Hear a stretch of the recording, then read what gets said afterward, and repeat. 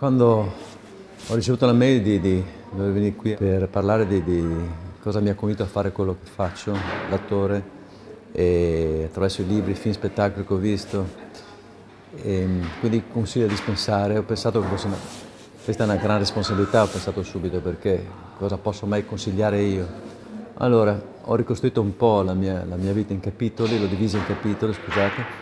e, ho individuato forse alcuni film che secondo me sono stati fondamentali per la mia crescita e soprattutto per la mia cultura cinematografica. Ho avuto la fortuna di lavorare in un cineclub con Mazzacorati a Monteleone negli anni 70 e lì mi sono visto centinaia di film e ne ho scelti alcuni, per cui Umberto D di Vittorio De Sica, scritto con Zavattini, poi uh, Germania anno zero di Rossellini, poi ho scelto uh, Harold Mode di Hal Ashby,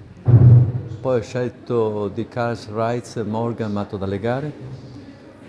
poi eh, cos'è? Un attore che per me è stato fondamentale per la mia formazione, che è stato Cesco Baseggio, col Teatro Codoniano, il suo gruppo. E, ehm, poi ancora come libri sono partito da un libro che avevo studiato per l'università quando avevo scritto psicologia, che è l'interpretazione dei sogni di Freud,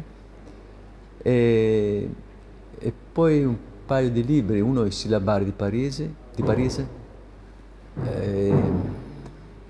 e, poi due racconti di Mario Rigoni Stern, eh, Sentieri sotto la neve, il primo si chiama eh, Che magro che sei fratello, il secondo Polenta e formaio Zebon. E mi pare che sia tutto. Ciao.